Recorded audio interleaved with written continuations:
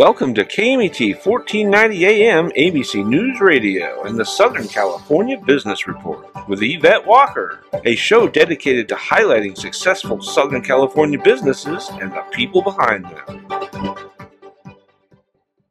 Welcome and thank you for joining Southern California Business Report on ABC News and Talks, KMET 1490 AM, 98.1 FM, and KMET TV. I'm Yvette Walker, live blasting our signal from the center of Southern California, serving a population of over 25 million. Get us crystal clear and on demand by downloading the free live streaming app on Google Play and the Apple App Store. As always, a huge shout out to the team, Mitch, Bill, and Sean. I love you guys. And to our special advisory committee that can be found at www.scbrtalk.com backslash advisory committee. Click on the link, check them out, and discover the people that are doing the work. Okay, everyone. Today I have the distinct honor to introduce Dr. Aileen Dinkjian, who serves as the Executive Director of Population Health at, that, at the San Antonio Regional Hospital Randall Lewis Healthy Communities Institute.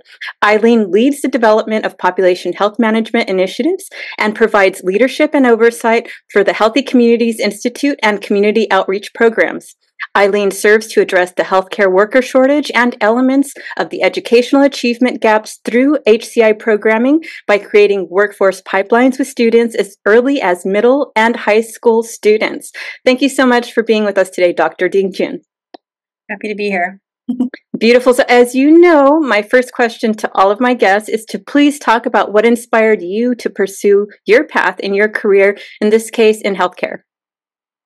So, uh, I'm from the Inland Empire, so I grew up in Chino, and the Healthy Communities movement has been around as early as I can remember when I uh, was coordinating the Healthy Chino program in 2005, around that time, and I was in college, um, graduating college at that time as well. So my initial spark of interest was really serving the community, and my undergrad was in political science, so I thought that was the route I would go to, but I realized that there was a lot more that we needed to address at that time it was childhood obesity um, and you know children dying before their parents and it's still a significant problem with diabetes and uh, it, it, sparked my interest then uh, to pursue and formalize my education in public health and learn a little bit more about how can I actually make an impact in our community. So um, I was very local. I was at Cal Poly Pomona, but I did get my master's in Washington D.C., which I got a little bit more exposure on some of these healthcare initiatives and rounded that out. And I'm actually really happy to be back in the region at San Antonio Regional Hospital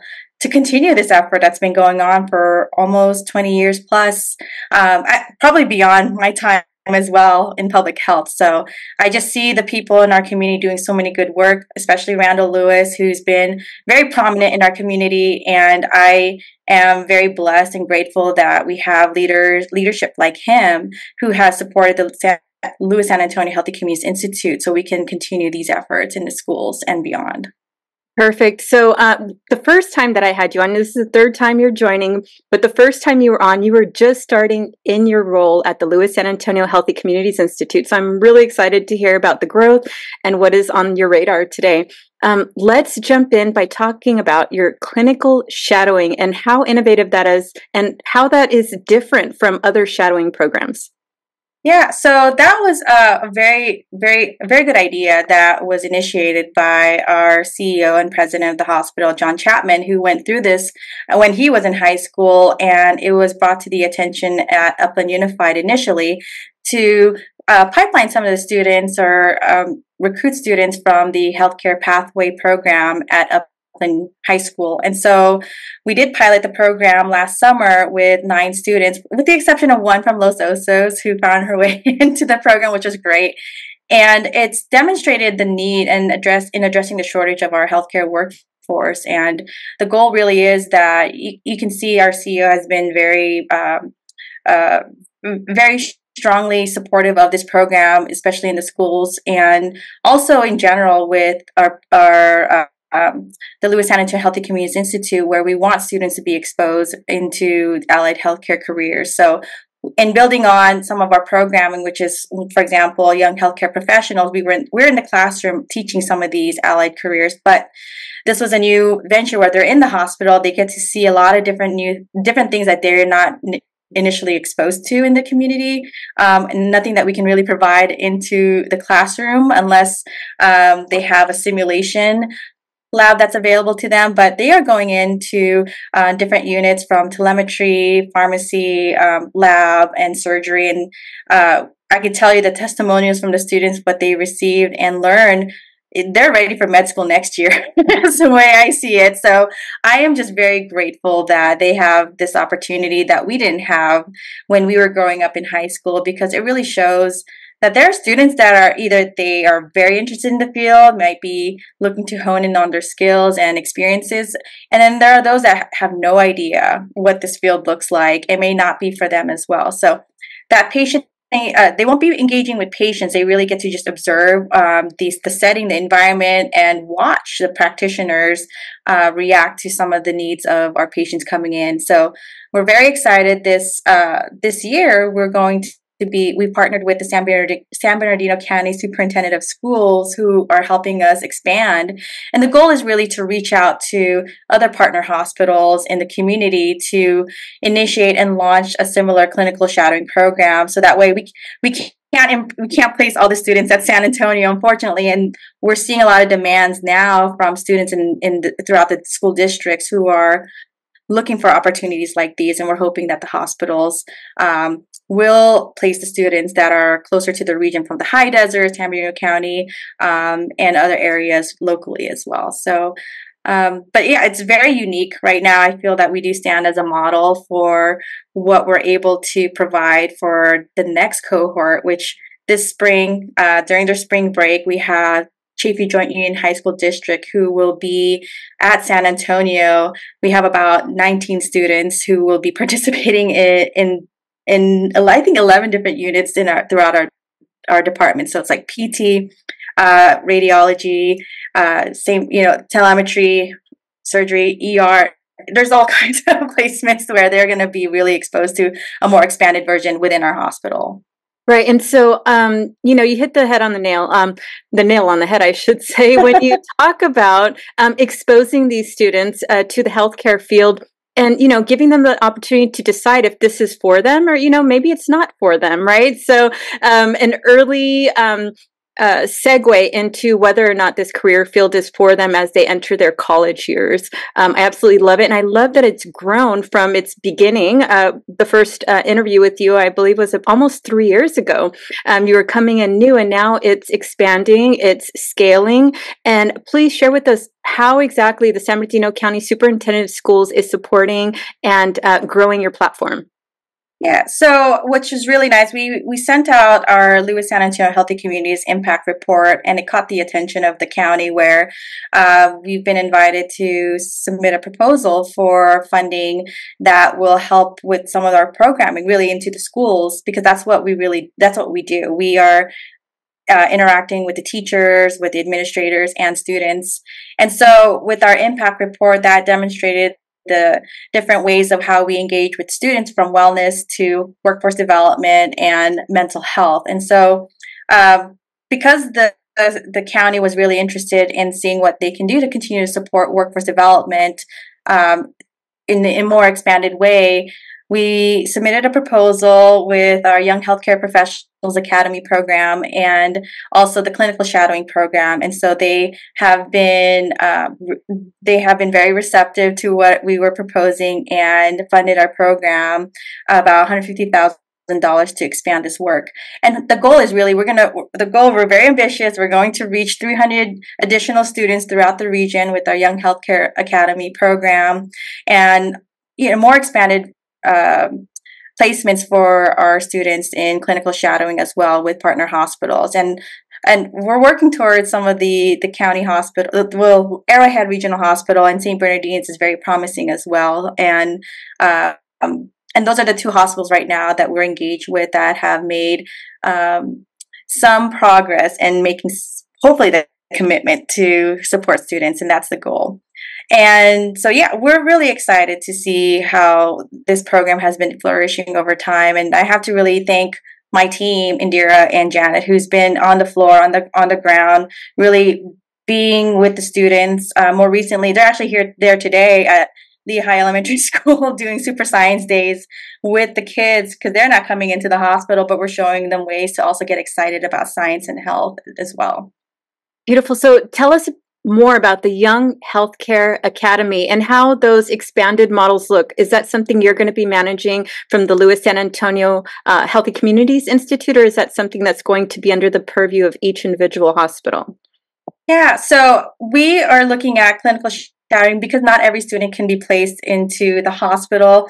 Anyone that has applied or has an interest in healthcare, we are hoping to to also provide this available in the community, whether it's after school or at a local community center or library, where we can facilitate um, kind of a role play of career opportunities in healthcare. So, what does a phlebotomist look like, or a clinical lab scientist? These are very much needed career fields in in healthcare, and so um, and the goal is also to provide them with basic life support training, um, CPR kits that are offered to students to get them certified, including a food handler. So when they graduate from um, high school, these are high school students, they would be able to have something tangible to really, you know, put under their belt as they pursue careers. Because the goal is that we want them to feel empowered to pursue a career in healthcare, especially especially anywhere in food safety as well. That's really important.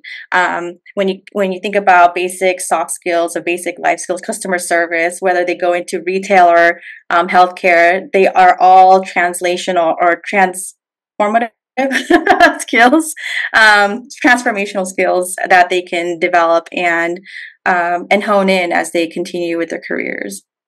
Absolutely. And so um, I just want to bring uh, to the attention um, the fact that you were on the ground uh, during uh, a recent um, tragedy that occurred uh, with a couple of uh, Los Osos students, a brother and a sister. Please uh, talk to us about that and how you and the Lewis San Antonio Healthy, Healthy Communities Institute was able to be on the ground and offer support. Yeah, you know, that was very tragic. We learned about that news, which is very close to Chaffey College in Rancho Cucamonga and the two Los Osos students that lost their lives, um, Sarah and Elias. Um, my heart went out to the family immediately. I just can't imagine the children, you know, the parents, what they're going through losing their child. And so, uh, by chance, you know, we were scheduled to be at Los Osos for their mental health fair. And so we got an email asking us to continue to participate in the event given that the district was undergoing several other losses. You know, some of the teachers have also lost their lives over the past weekend, and another student also lost their life. I think, um, uh, I think it's Rancho Cucamonga High School, and you know, these tragedies we we really mourn on that loss. It's a big community loss for young lives that have very promising, bright futures, and um, knowing that the students when they came up to the table from what I've learned from my staff who was on the on the ground again Indira and Janet um, they can see when they ask are you okay? They'll say yes but their face says something else right? Their body language tells them something else. So the fact that we're able to um, pivot and adjust our typical usual outreach with mental health and support the the Los Osos community while we're there at the schools was um, was very much needed. And we know that it, there are folks that are hurting. These were kids with um, that were teammates on a softball team, a baseball team, their friends or classmates. Um, I can't imagine the devastation of the person who survived that accident. There was a third person. And uh, it, it, it hit us all. I feel our community has been hit hard with something very tragic. And again, we really we acknowledge some of the um, suicide ideation that students go through in our community. And we want to be able to provide all these resources that we have at our disposal, whether it's, you know, asking them, what do you do for self care? Or what made you smile today? Simple as that. Kind of give them something to think about if they didn't even think about what got them up to smile, you know, during that day. Because sometimes some they may not be asked those kinds of questions.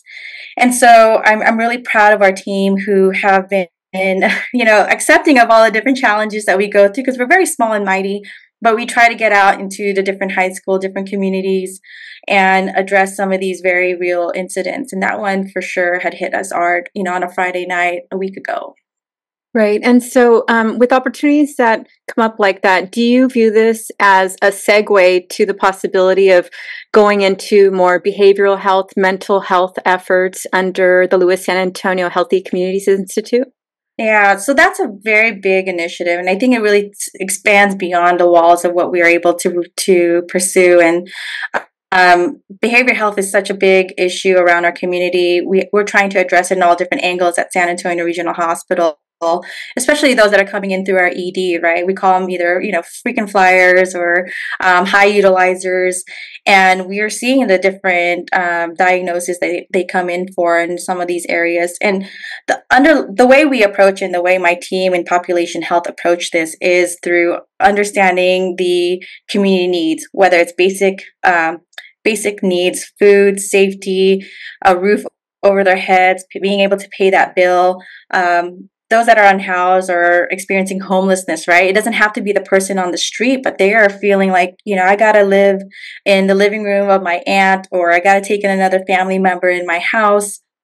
Uh, and those are real. And we know that we want to be able to address um, those kinds of losses, especially to think about the post-pandemic era, right? There's we can see the effects, especially in the students, you know, who are now, I think, are graduating seniors who since the pandemic pandemic. Oh my gosh, it's been like almost how long? Four years ago, right? And and thinking about that and how how we redirect our programming is really key. And so um, I, I do think being able to gamify uh, you know what we do in the classroom is one of the areas that our team has been looking into that kind of helps with uh, just general learning uh, in the high school setting but behavioral health is such a big issue to tackle in general because we have to think about those that are exposed to substance use and how do we deal with um, family members that might be going through some kind of addiction and where do they go? So the question really is the discharge portion. If they come and get hospitalized at our hospital how do we support them in that effort thereafter Right. So going back um, again to the students, um, please talk about your efforts to raise awareness and training on the use of Narcan on the campus or you know around young people. Yeah. So Narcan is distributed. We are we give it out at the hospital, and we also have it on hand when we do outreach. So our our team, actually, our population health team, Megan and Emma, are, are out constantly giving away Narcan, no questions asked. They they can always report it back if they've ever had to use it. Um, but essentially, they are um, given the instructions to how to use Narcan when they're distributed, and um, a lot. Of, what we've realized that a lot of parents do take one, two, three. Not that they hopefully need to use it, but you, there's just those instances where you just never know. You might run into someone that have the need to um, to use Narcan to reverse these effects of whether it's fentanyl or some other substance use. So um, I think just raising awareness that this is real, we can actually reverse this kind of effect in the community is available. We don't have to. Um, we can save lives through that end as well. I think Wonderful. we've seen a lot of tragedies. Um, uh, one is already enough in our community, and we've seen someone that's overdosed with fentanyl. Absolutely. And, you know, speaking of San Bernardino County Superintendent of Schools, I had the honor of serving as a panelist for uh, the students' initiatives that are addressing those community needs assessments and coming up with solutions. And during the presentation, um, to them, Narcan was a big deal. They wanted to see it on their campus, available, maybe even in the bathrooms, right? Um, dispensable, and um, uh, to have the access without the stigma of requesting it. So, how is it that you go about uh, that? training in terms of accessing it by students and you know eliminating that stigma and understanding that you know what like you said you never know when you can need it. You could be out on the street. It may not be for yourself or a friend but someone um, unknown um, that can be in need. Yeah i think it's just very simple. We we let them know it's available. We don't ask questions we don't ask for insurance we don't ask for any information. Students can actually the school district does do provide these they have them available at their nursing offices as well but um, and so we leave it at the school's discretion to uh, distribute it as they see necessary. Um, but for us whenever we interact with families in the community we have them on hand available and they just take it you know and if they have questions we will help answer those questions for them Right. And so earlier you talked about CPR training. Is that something you offer to all of the students when you go visit the schools? How does that program work?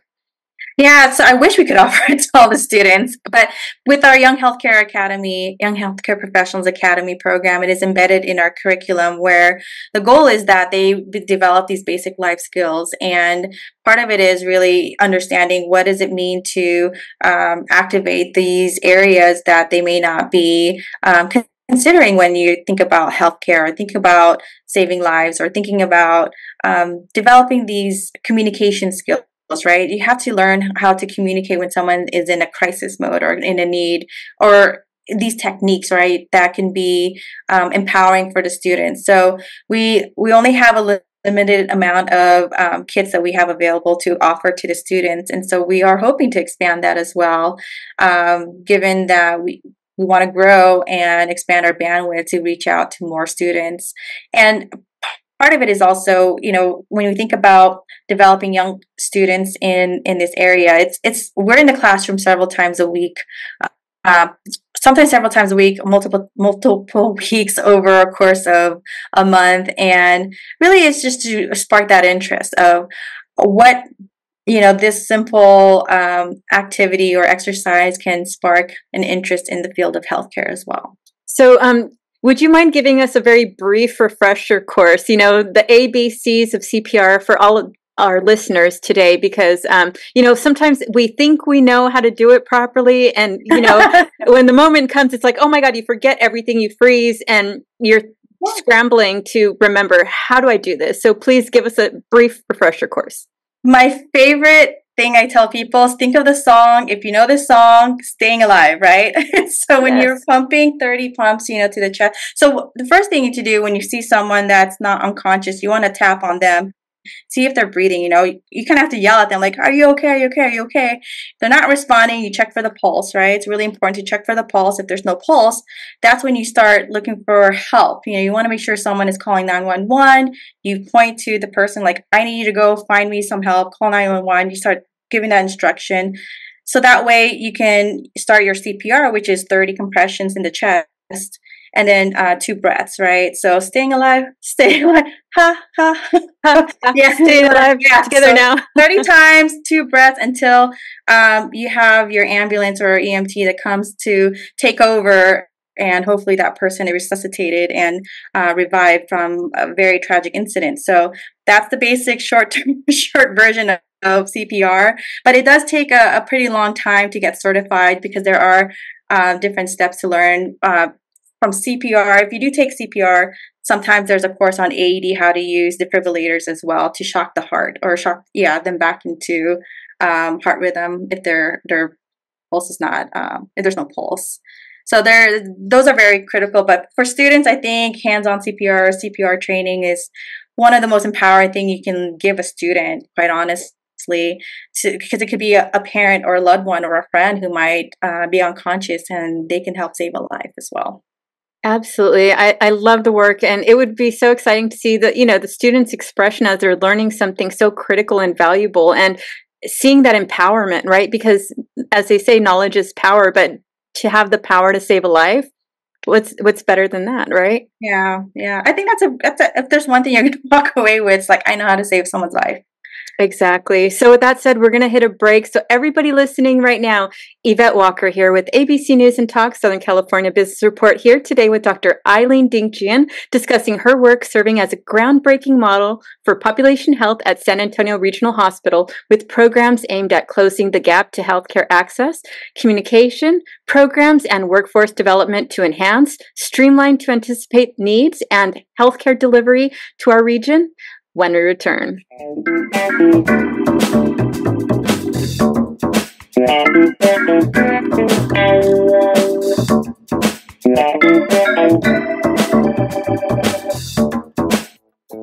Hi, I'm Dana Rademacher with MGR Property Management. A lot of people wonder about the value that property management has for their property. Property management can include all property types, including residential, commercial, and HOA. It is valuable because property managers are experienced in what can happen at your property. We're aware of liabilities. We're able to do predictive and preventative maintenance. We know what is coming up with the changes in the weather, the seasons, how old certain aspects or different capital projects at your property are. We're able to best negotiate contract pricing, legalities with your tenants, and anything else that you may need to ensure that you're getting the full value of the property. If you're interested in speaking with the representative at MGR Property Management regarding your property management needs, you can visit our website at mgrrealestate.com or you can call our number at area code 909 581 6600 to be connected with a representative. The University of La Verne is rated first in California for alumni satisfaction. Learn more about accelerated programs offered online and on campus in La Verne, Irvine, Ontario, Burbank, or College of the Canyons. Visit go.laverne.edu. The University of La Verne. go.laverne.edu.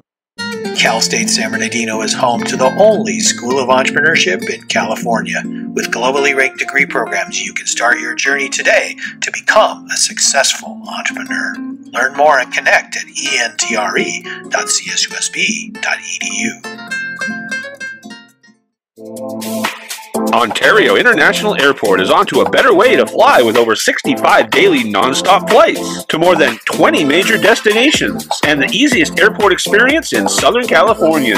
Visit flyonto.com slash Ontario to learn more about Ontario International Airport today.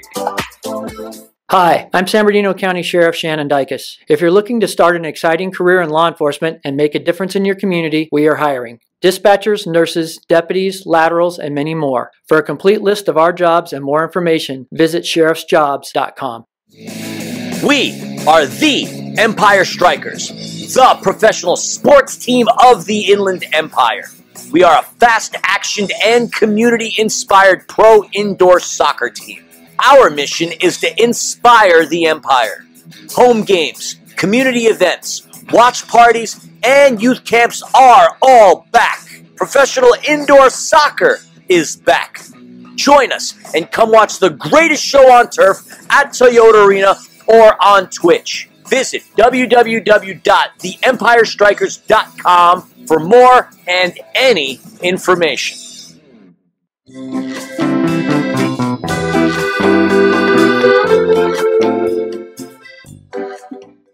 Welcome back, everyone. Yvette Walker with ABC News and Talk Southern California Business Report here today with Dr. Aileen Dinkjian discussing her work serving as a groundbreaking model for population health at San Antonio Regional Hospital with programs aimed at closing the gap to healthcare access, communication, program workforce development to enhance streamline to anticipate the needs and healthcare delivery to our region.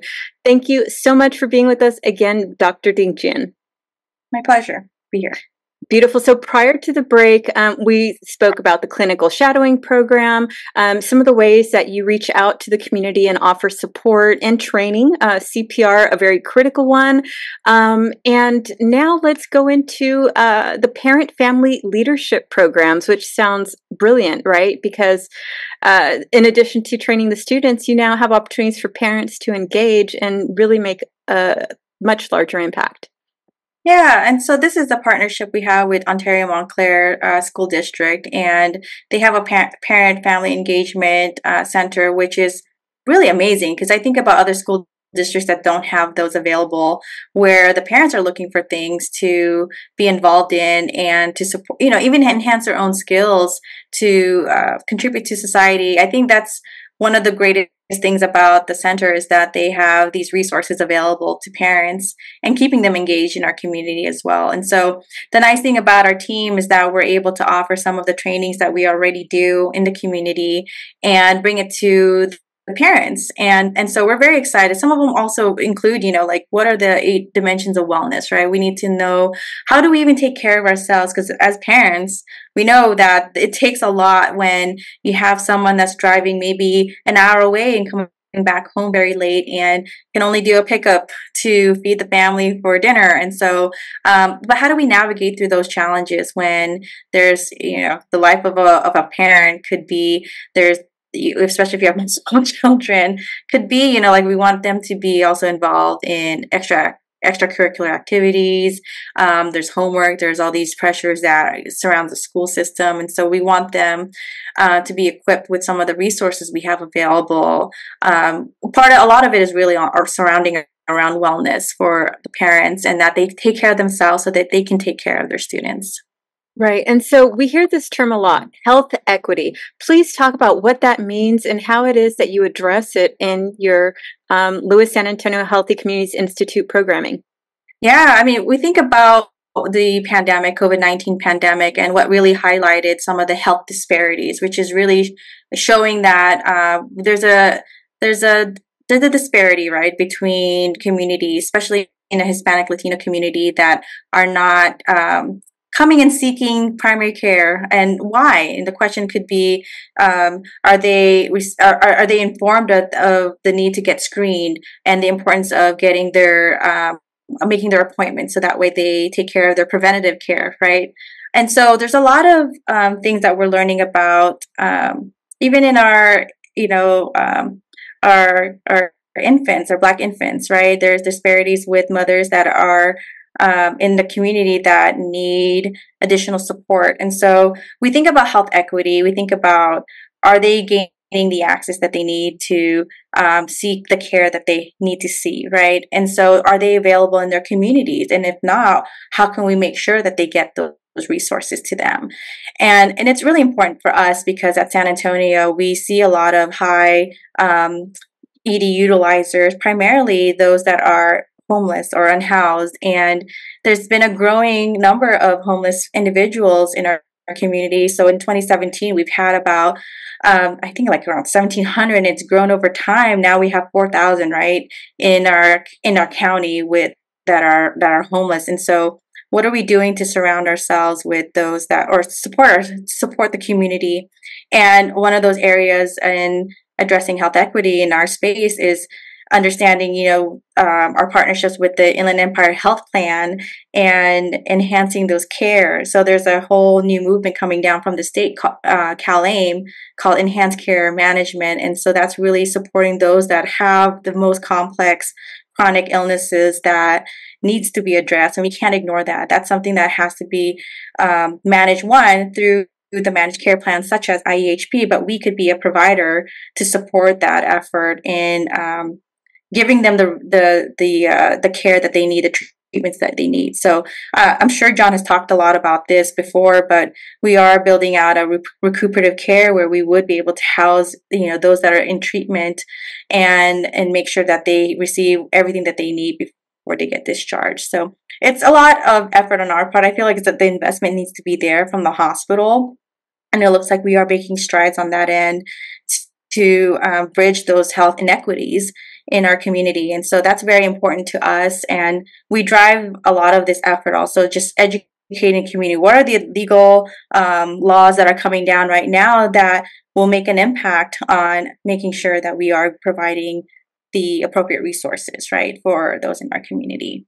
Right. And that data comes from community health needs assessments, right? Please go briefly into that. Yeah, so we are every three years we have to conduct a community health needs assessment, and so in the past we've seen a lot of need to address the uh, population with um, with cancer needs, and oncology is still a very important part of the work that we do. But we've seen a change in that and prioritizing a little bit more around mental health, cardiovascular health. Uh, we're seeing hypertension primarily in Ontario, and um, and heart failure. AFib is also a very prominent area that we're seeing in the hospital and also um, maternal infant child health. So those are the three primary service area or primary areas that we are uh, addressing in our community health needs assessment. But the way we address that is through what we call a vital conditions framework. And so to have this, what we call civic muscle, right? We need to make sure that these families are really equipped with what they need to be able to take care of themselves. So if they are having trouble keeping a job or have these job instability or job insecurities, food insecurities, um, they won't be able to take care of themselves and seek those appointments, right? So, how do we make sure that those are all taken care of while they are also being um, addressing some of the health needs and conditions that they have? A big part of it is also nutrition, right? And so, we are also working towards um, having a nutritionist um, be a part of the care in our in our program in our in in the hospital. So that's a, an area that we also try to do with outreach is providing the our families information on how to eat better. It, the, it, it may not look like the food group plate that we learn in school because we know culturally and ethnically people have different ways of eating at home. And so we're we're doing our best to make sure it's culturally sensitive that you know it's not going to be um, a salad plate every night. It's going to look like rice and beans or it's going to look like you know pork and chicken but what does that mean? How do we season it? How do we make sure that they are we can adapt to um, the families that enjoy these kinds of meals that really you know you know bring, brings home to them. So uh, there's a lot there's a lot of work i would say that we put into the community health needs assessment and it is a very big effort across the region. From hospitals and uh, partner hospitals our managed care plans and nonprofit community-based organizations. Right so um, going from that to your university partners, please talk about how your university partners helps elevate your platform and your efforts at the Lewis San Antonio Healthy Communities uh, Institute. Yes. Yeah. So one of our wonderful programs, which did launch, initiate from our adolescent health programming is our non-clinical work non-clinical workforce development program, which is now, you know, is uh, being supported by our uh, population health coordinator, Syra and so she has helped us really develop these affiliation agreements across all the different partner hospitals, such as Cal State San Bernardino, Cal, uh, Claremont Graduate University, KG. We have all universities you can name probably that are interested in our program. But so essentially, what we do is recruit uh, students from local colleges who have an interest in health service administration or public health, um, any health aspect, and we try to find a placement at, for them at the hospital. So they could be interning at the administration office, they could be interning with our uh, registered dietitian, they could be interning with the marketing, they intern with us at the schools.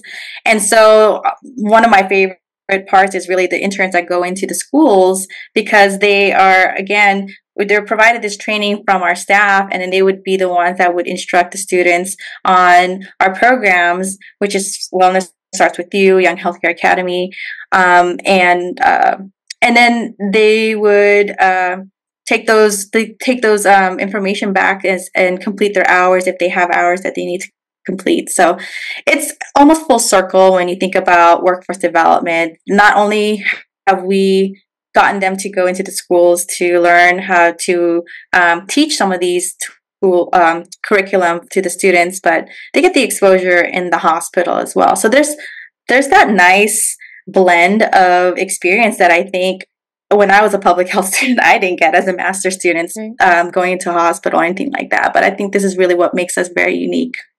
Right. So, Dr. Dinkjian, talk about um, those workforce development gaps. Can you run down the list of those areas that are in greatest need? Yeah, I mean, we always need medical assistants. We always need the clinical lab scientists. We need phlebotomists. We need folks to really stay. And, and it's not that we want them to just stay in one um, uh, one area, but we want them to also grow within the field. And so there are opportunities for growth at, for example, at San Antonio, we, we talk about stackable credentials. You can build those credentials, whether you start off as a CNA, which is a, um, you know, eh, or, or, you can get a, those certifications through Chaffey College or uh, another community college.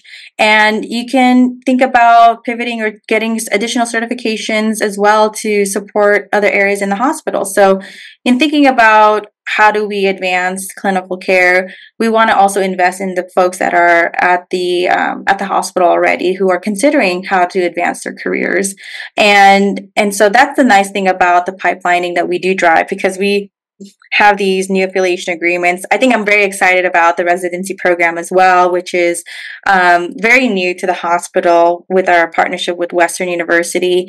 And there's always a need for uh, for PAs, physicians assistants, who will help alleviate some of the pressures that um, some of the physicians on our clinics in our clinics and in the hospitals that, that are that they get from um, the high needs in our patient care. Right. So you we need more primary clinics in general Okay. too. more primary clinics. Yes. Um, so you talked about clinical and non-clinical uh, career pathways. Uh, let's talk about what that retention looks like currently for the Lewis San Antonio Healthy Communities Institute in relation to, um, you know, turning that from an internship opportunity to an actual career or your foot in the door of healthcare. Yeah, so our our non-clinical, I, I would say that's one of the areas that uh, I can that we've had staff that have been previous interns who became full-time employees. So that's the nice thing about um, the trajectory and what we've been able to offer to some of our interns that have worked with us. And we have been following them. We are looking to see where they're going. And the nice thing is also that some of them have landed jobs at the county, working in the public health department some are at UCR, some of them are all over the different areas in our community. So um, that's the the goal really is that we want to train folks here and then keep them here, right? And for the clinical aspects of it, I mean, I can only speak very little about it, but because it's it's not really something that we oversee at the Lewis San Antonio Healthy Communities Institute, but in collaboration with our medical education and the clinical sh- shadowing program, the goal is really to help um, those that are very intrigued and interested in healthcare um, navigate through what that next step process is and getting those um, on-site training from uh, healthcare professionals on the ground. So we'll, they'll get some of that mentorship, and hopefully that will help facilitate the next steps for our high school students and the kind of majors that they want to get into. Please talk about other uh, less known benefits to participating in the HCI program at San Antonio Lewis Healthy Community. Yeah, again, we are we a lot of folks have reached out to us now that they've learned that we exist. And so that's the I think we've been kind of the best kept secret for a while, but the nice thing is that we are hoping to reach out into communities that don't have any of these kinds of programs available. Although we do work with currently for example, the ROP programs or with um, programs that have healthcare career pathways. We do want to get into schools that don't have any of these opportunities so we can help bridge some of those understanding. And um, even we want to engage with parents. So I think that's the one side uh, as well that we haven't really talked a lot about is that I think when we onboarded the uh, students for clinical shadowing, the parents were just as interested as the students. And so um, I think that's one of the primary areas that has gained a lot of traction in more more recent years is the clinical shadowing program, and it's an experience that. Um, although if the students don't get in, they can also volunteer at the hospital, and that's very important too. Um, they will get badged. They will get to um, help with our um, our programs that we have available through our volunteer services as well. So I understand you're going to have a new cohort of internship opportunities with a deadline. Please talk about that, where they need to go, you know, where applicants, students can go to apply, submit um, their interest, their application, and when the deadline is. Yes. So, so although we have our, our San Antonio clinical shadowing program, the expanded version will be in June. So the last two weeks of June or last few weeks of June, we'll have the countywide version of the clinical shadowing program and placing them throughout the county with partner hospitals. And so for anyone that's really interested in this program, we do have, um, you might have to email us to get the information or find us on our website at sar.org, and we'll be able to provide you with the application link where you can have students apply. And these are only for juniors in high school. So I just want to remind everyone these are specifically for juniors in high school. Uh, possibly some are considering seniors, and uh, and a part part of it is because depending on the age of the students from minors to adults we want to make sure that they are able to come into the program seamlessly. And so yes that's how we will be um, launching the expanded version of our program for clinical shadowing. It will be in june and we'll have a big celebration at the conclusion of the program for around probably july or august. So that's really to engage everyone that's been involved from supervising the program in the units, in the departments, to the parents, to the students, and to the county that have been so generous to giving us the opportunity to help expand this effort. Right. So that's uh, everybody go visit sarh.org. We will share a link um, on the YouTube video so you can just click on it, go directly to the Lewis San Antonio Healthy Communities Institute and learn more about those deadlines and download the application so you don't miss the deadline. Yeah. Yes. so let's talk about um, areas beyond San Bernardino County to participate. Is, is, it beyond San Bernardino or are you currently local to San Bernardino um, as it stands?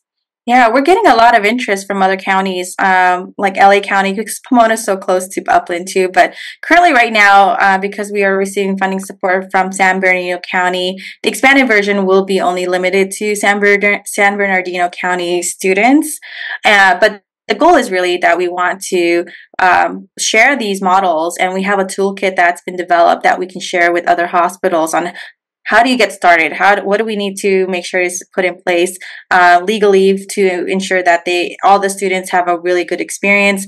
What is it going to take? Because we know hospital care team members are very busy as it is, and so we want to be mindful. But a lot of them do want to educate and mentor our students as well. Because I always think about you know these are the ones, these are the future of our right. healthcare, and so who's going to be taking care of us right? And, and we got to make sure that they're equipped and trained um, as much as possible and so we can't do it alone. We have to we try to partner and be collaborative as much as we can.